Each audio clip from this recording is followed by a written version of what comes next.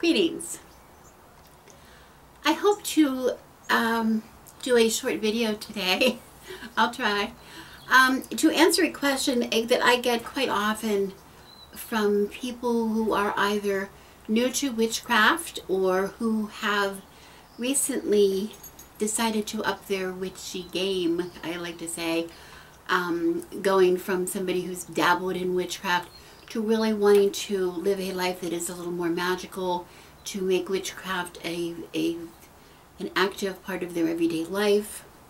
And they often come to me and say, what should I have? What do I need? What are some of the tools that I need? I believe that they ask me because I have a lot of stuff. I've got a lot of witch stuff. Um, in this room alone, I have a big double cupboard in front of me and, and an altar with a cupboard above and big shelf unit and my spell table over here in the corner has a prosperity altar space beside it and, and cupboards above.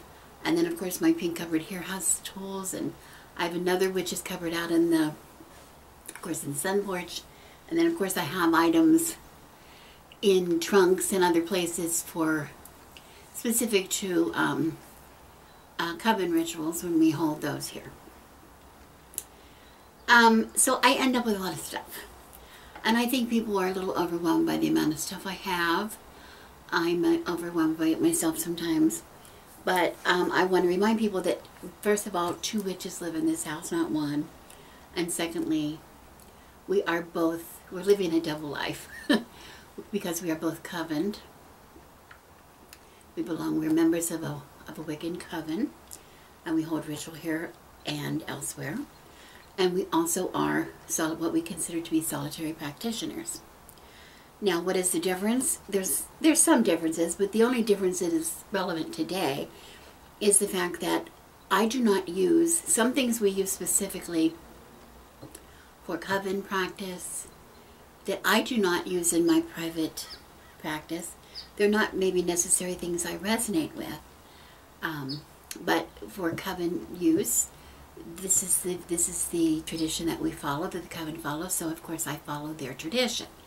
But privately, I don't use certain items, but I need them for them. I use a lot of things that they do not know anything about or use or care about or whatever. We have completely two different practices. Also, my husband and I, we while we share a lot of the practice, of, of our, well, he's coming with me with both of the practices.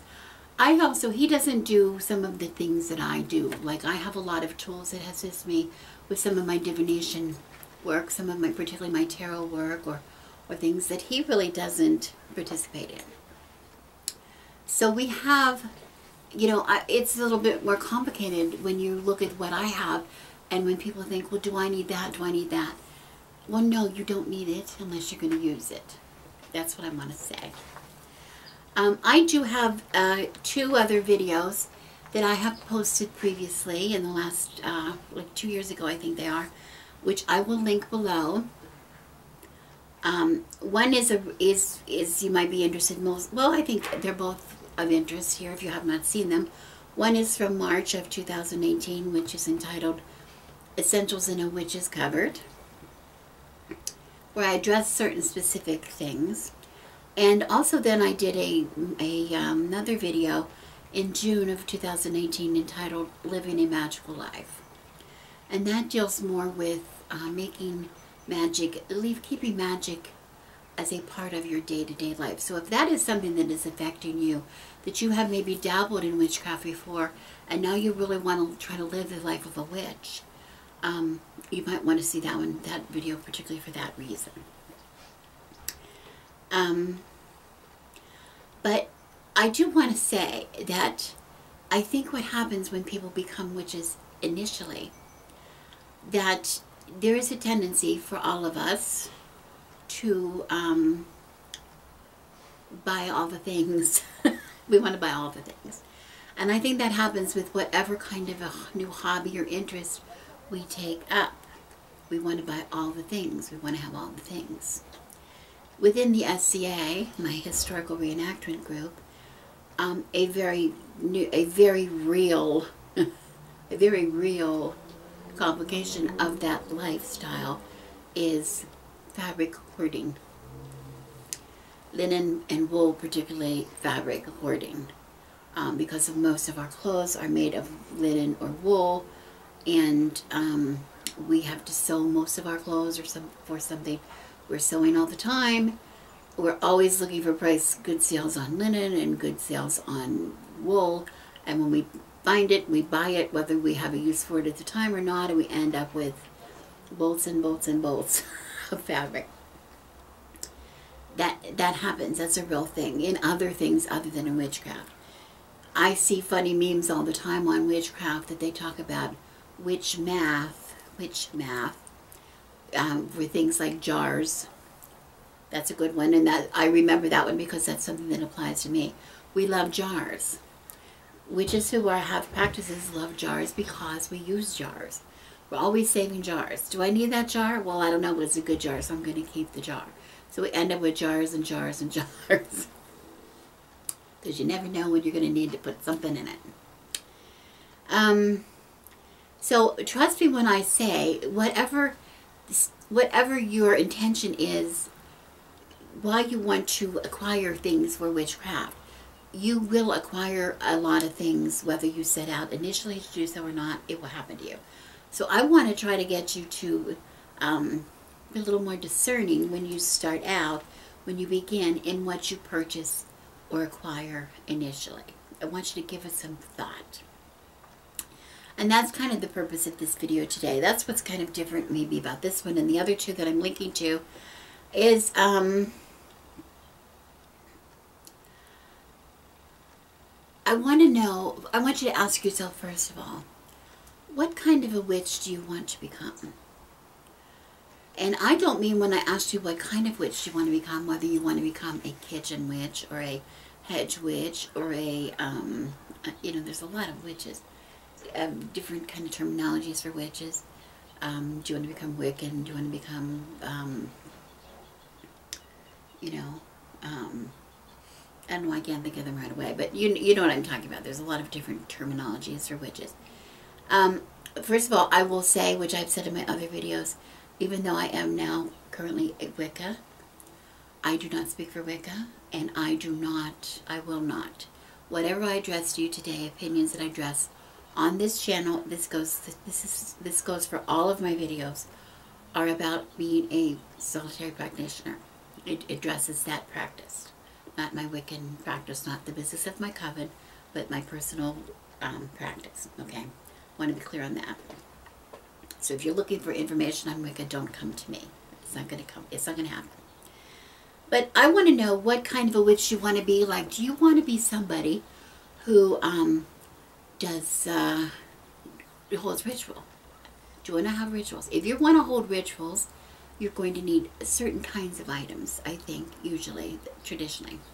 If you're going to hold, um, if you can to hold altar space, set up altars, whether they're permanent or temporary, if you want to alter for any reason, um, whether just to hold a sacred space in your home, um, I use, like for instance, I have different altars. The one that I have in this room is always set. It is a permanent altar. It is always this it always looks like this.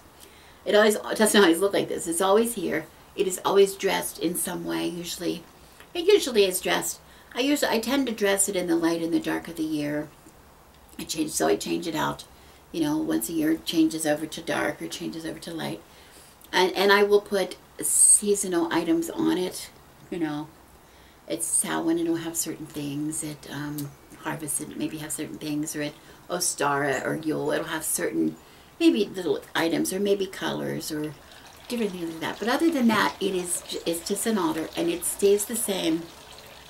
And we use that altar for things like if I want to hold things, we tend in our personal practice if we want to like my husband is always collecting feathers from the chickens or he or he brings me rusted nails for use in witches jars or he brings I'm just looking over to see what's over there now or have um, um, if I make um, smudge bundles or new smudge bundles or whatever for use, um, we or I get a new deck, a new tarot deck or something like that. we we tend to put things on the altar that we want. We call it charging things. It's not necessarily charging, but it's like it's a holding it holding it within a sacred space for a period of time until we're going to take it into use. That's what we do with things. That's this tendency works. So we hold that altar for that purpose, really. That's really basically the reason for holding it. Um, but it's not necessary. It doesn't really do any, we don't use it for ritual. The ritual, the altar that we put up for ritual is temporary. It goes up for ritual and it comes down after ritual. It comes up, it is laid, and after ritual, um, it is taken down and put away. And that was true whether that was before we were covened, we did it for our own solitary rituals. We did the same thing. We would set up, wherever we would set up, we would set up a temporary altar. So we had things for that altar, okay? Because we held ritual, okay? I have also um, a prosperity altar in here, and I have a, a um, healing altar that from time to time are used and from time to time are not used. They're not always used. Okay, but there they're. The space is there if I want it. Excuse me. So that is, so if you're going to do any kind of altars, you're going to need certain things for altars. Most people use things on an altar, example, some kind of candles. Um, whether they're colored appropriately or not, doesn't matter to you or whatever you want it to be used for. It doesn't matter. But some kind of candles are usually used. Things to represent the elements are usually used. Some kind of water or vessel for water, some kind of something to symbolize earth it could be a, a simple, you know, like a um, altar stone, or it could be just, you know, it could just be uh, like a like a um, you know, I have a, a, gem here. It's a different gem. Here's amethyst, and here's a black obsidian that I just have here on my reading table. I could use something like that, some kind of stones, gemstones or crystals on the altar. Or salt, a little dish of salt, something like that. Something to represent air, which could be a lot of things, but for a lot of people, we just use incense. Something to burn incense in. And then, of course, um, fire, which is candles. Fires is the candles. Candle, fire, what did I say? Fire, um, water, something for water, earth, and um, air. Okay? Other things you want is is up to you. If you if you like things to represent the deities, you can. I have a lot of videos in the past where I didn't use statuary. I just used when I was wanting to work with a certain deity, I would just use an image from the internet to represent that deity. Um, and some people don't use them at all. Some people just use like a god and goddess candle, a candle to represent each one. So candles, those kind of things, if you're holding ritual, would be um, necessary. And I also believe if you're going to set up a ritual space, any kind of a sacred space, you need some kind of a cloth, some kind of an altar cloth. It doesn't have to be a specific cloth called an altar cloth. I don't have anything called an altar cloth. But I do use a cloth. Sometimes I use a silk. I use shawls and things to cover, or I will use um, little tablecloths, or I will use, um, I've even used like a placemat. I've used doilies that my grandmother has made or dresser scarves, we used to call them, that you would put on the top of a dresser. Anything like that because I don't like to put um, things on a bare table. I want to set the table. It set the table. It's like when my father, I'm living with my father, we we set the table if it was lunch, if it was dinner, it didn't matter what the meal was. The table was covered at least with a place with a placemat, and it always had a candle on the table. That's just the way we did it all the time in our in our home my table here, my reading table, I have it covered all the time. And then, of course, I have an extra little um, wool square, a wool blanket here that I read on, that I use for my reading, specifically for, for reading. Okay. That's just, I always said that. So if that's what you're going to do, if you're going to do any kind of reading or, or divination work, you need something to you put on. Read, put your tarot cards on to read. Um, put your, set your candles on for to hold your altar space. Okay. That's personal opinion for me, but this is, you're asking my personal opinion, so you're going to get it. Okay. Um, whether or not you're in or out of the closet is going to make a big deal. But I really believe that if you've come to the point where you're asking me about stuff and about what you need, most of you are thinking of um, having some way of keeping that private to yourself, even if you're in the closet, some kind of a space, holding some kind of a space, whether it's in a personal room or in a closet or in a trunk somewhere that you can take in or out, that you've reached that point where you're, you're getting enough stuff that you want to be able to use them. So, you know, whether you're in or out of the closet is not that particular to this subject, um, unless it's going to be in terms of what kind of things. And I think there's a lot of people here on YouTube who are in the closet, so to speak, who give, offer a lot of advice for others who are, how you can set up some space or have things, um, particularly in that in that um, situation. I'm not in that situation, so I really can't. I don't want to address it because I'm not an expert.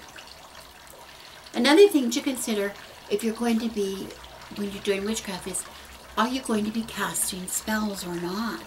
You know, there are a lot of witches who do not cast spells. So a lot of the stuff that you see is for spell casting. Okay? If you're going to only set up an altar, you need a couple candles. You don't need a, a room full of them. You don't need a cupboard full. I've got boxes and boxes of candles. I use a lot of spellcraft. I use a lot of candles and I always use candles and spells.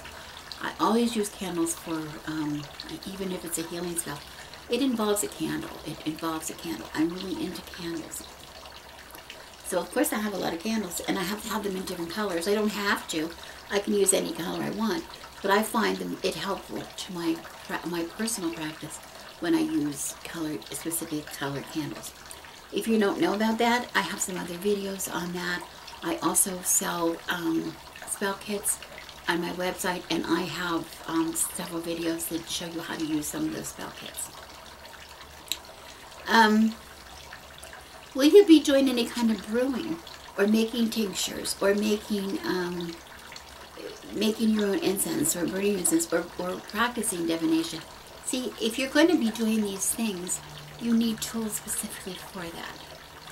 You know, for and what I'm talking there basically is herbs, a lot of herbs, a collection of herbs and stuff. If you are not going to be using make using spell work or making your own incense or um, making tinctures or anything like that. You, you don't need a big, you don't need a cupboard full of herbs. You don't need that. Where it is very, I know it is very um, tempting if you go into some kind of a witchy shop that sells them, all these jars and jars of herbs. It looks very inviting. It looks very tempting. You want to have that too. I have a really lovely witch's cupboard over here that people really like because I have a lot of stuff in it. But you know, I use it. I make my own incense blends and I have sold them.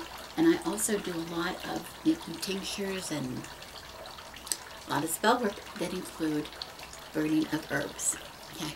Or making oils with herbs. If you're not going to be doing that, you don't need the herbs. You don't need it if you're not going to be making your own incense blends or burning on a cold disc. If you just want to burn little cones of incense or sticks of incense, you don't need all of those herbs. So be realistic what you need and what you don't need. Try to, you know, make, keep a difference. The one thing I do want to say though, no matter how involved or how less involved you want to be in a lot of these um, activities, witch activities, that I wish everybody when they're starting out that you just start out. Remember, if you're going to be dabbling in witchcraft, whether or in divination or anything like that, whether it's a big dabble or a little dabble. A dibble, would that be a dibble or a dabble? I'm not sure. Make sure that you have items or methods to cleanse your space and ways to protect yourself and your home and your space. I, I can't say that enough. I can't emphasize that enough to you. It is so important It's so important. If you're going to believe it all in magic and the magic that witchcraft is about, then you also have to believe in protection, in cleansing, okay? If you're going to do spell work, don't even think about doing it without protecting yourself. We just came out of Samhain and we all did a lot of fun things in Samhain and we've done things, you know, and we've talked and talked and talked and people talk about the, the veil being thin at that time and all of the spirits wandering around and trying to communicate with us, etc. If you're going to believe in that at all, you better believe in putting up some protection. Your protection can be something that you see or something you do not see, but it has to be there. It can be something as simple as just washing using like a, a, a, smoke to smudge, like from a burning a smudge wand or just burning some kind of smoke, in, in special incense, whatever. Um, cleansing your space that way or cleansing your space, you know, with a, a cleanse like people use Florida water or cascarilla powder, make a rinse out of that to wash and scrub it can be something as simple as that. I use, I also, I do, I do smudging, of course, all the time. I also do um, putting up witches' purses or sachets or whatever you want to call them around at my doorways or um, there's so many things that you can use. Do your research, look at some videos, watch some videos and do some research and see what you can use. My, my chickens have protection on them. My um, my cats have protection, my home has protection, my dogs, my dogs right now do not have personal protection on them. But I'm going to be doing a video in the future about ways that we can protect our dogs. Because our dogs need special protection, particularly, like my cats and my chickens need protection, but they tend to, they live here. They don't go anywhere. My cats stay in the house, and my chickens stay in the yard. They don't go down the street. my dogs go. My dogs go, will go places. So when we start to go, we haven't had them anywhere for you know much, and but we will we will start oh, now that things are starting to open up more. They will be out more, and at that time they will I will put putting protections on them, and we will talk about that in the video. But don't think that you can believe in one kind of magic and not both. it's important. So if you, the very first things that should come into your mind before you start dabbling, or before you start getting serious about doing something, about within witchcraft is to get some protection in place. Get some protection in place. There's some there's some a lot of videos on the subject. I have some and other people have some and I and I suggest you use those. Cleansing your space. Okay. The other thing is to be honest with yourself. This is my last point, I believe. Be honest with yourself about what you resonate with and what you do not resonate with. We collect things all the time in this home, in our practice, because of our own practice and of course their coven practice and from because we have other bridges around us. And sometimes we will collect things, there will be things um, brought into us from ritual. And um, you know they're meant to be like little um, little gifts or little tokens that you get following a ritual whatever. Um, or sometimes they're just left behind.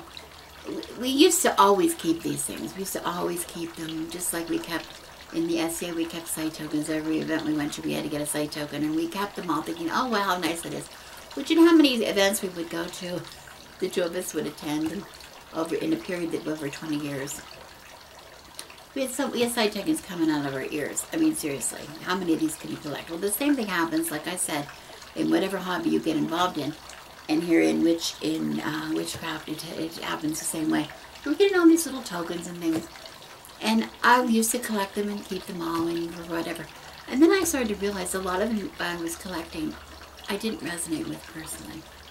They were they were important to the ritual that we just had or to whatever we did, the activity that we just did. But as far as keeping it long term and using it again for another reason, it's not something I resonate with, it goes. I purge it right away. I get rid of it right away because it's like, I can't. I will be smothered. I will be smothered under this stuff if I keep it all. If you resonate with using gems and crystals, then that's wonderful. If you resonate with tarot cards, that's wonderful. But if it's something that you don't want, get rid of it. Get rid of it. Don't don't keep it. Do not buy patchouli because I like patchouli. If you don't like the smell of patchouli and you don't really care, you can say to me, I don't care what magical properties patchouli has. I think it smells like ass. Pardon me but I think it smells like ass. I don't want to use it. Then please do not use it. there's something else you can use in its place. Don't buy everything that is popular just because. I have a rosemary bush. It's very prolific in my yard. So of course I'm going to use rosemary. I know rosemary is not for everybody. Rosemary has a lot of wonderful properties to it, but it's a very, very strong, overpowering fragrance, first of all, to it, and taste if you're going to use it for anything. It's, it can be very overpowering. So unless it's something that you you like and enjoy, don't use it. Okay. In case, if you do not, if you go into a gem store and you pick up a piece of black obsidian, for instance, well, this, oh, look, Bale, you know, um, Goodwife likes, she, Goodwife talks about um, black obsidian. She wears a lot of it on her bracelets. Here's, here, right now I have a whole bracelet pretty much of it here. I have it here on this bracelet. I, you see it all the time on me. I always have this, this rock here on my reading table. Um, it's something that I really love. I love black obsidian. It, it absorbs a lot of the um, negativity. It keeps it keeps me. Uh, it filters that. It filters a lot of that for me, and um, I love it for protection. I love it for a lot of reasons. But if you pick up a, a piece of black obsidian and it does snowflake obsidian, excuse me, and it does not do anything for you. If you don't, if you can't feel something from it, put it down. Don't walk away. Use something else. Amethyst. Here I have a piece of amethyst, and I do wear amethyst from time to time. I have it on. That's pretty much of a coincidence. I have it on. You know, if you like amethyst, because other than for the reason that it's purple, some people like it because it's purple. Well, that's lovely, but it's not because it's purple that I like it. And I don't think you should ever pick anything because it is purple. And here, as a matter of fact, this one is not really polished, so this doesn't really look purple. I don't think I'd even to you. I can see purple in it, but that's not it. It's not the color for me, it's the property. Okay. I wear a lot of amber. I love amber. I wear amber in the SCA and out of the SCA. A lot of my bracelets are amber. Uh, I wear amber necklaces. I have a lot of it. Um, amber is something you love or you hate. It doesn't matter. You know, amber has the nickname the witch's stone. It's only the witch's stone if it's good for you. If it's not good for you, you don't care what it is. You don't care what it's called. Just like that, we have to do things to other things. Do you like the use of a wand? Do you like, does you resonate with a wand or not? Do you resonate, you know, for me, my hand is my wand. I don't need a wand.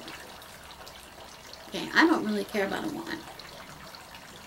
Do you resonate with it or not? Same with deities.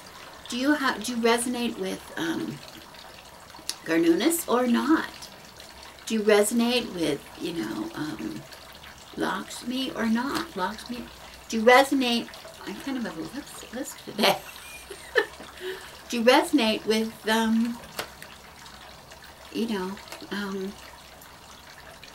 um, Buddha, do you like the idea of Buddha or not? Do do you want a Buddha in your home or does it matter to you? I have two. Does it matter? I'm not a Buddhist, but I like, I really like Buddha. I love Buddha. Personal thing. That has nothing to do with what, what I like and what you like. Two different things. I'm rambling. I don't mean to ramble. I just want to say if you're going to use, if you are really going to use something, you really want to use it, then you use it. If you do not want to use it, don't let it clutter your life. Your magic is not going to be worth it. Your magic is start to have it now when you're when you're new, so that everything that you have in your life is there to be used as your tools. It's not there to to keep you from your magic. It's there to enhance your magic. And good luck on your journey. Thank you so much for watching. As always, I am Rebecca, and I will say, because there's a good question, the good wife. Thank you so much for watching. I wish you blessings.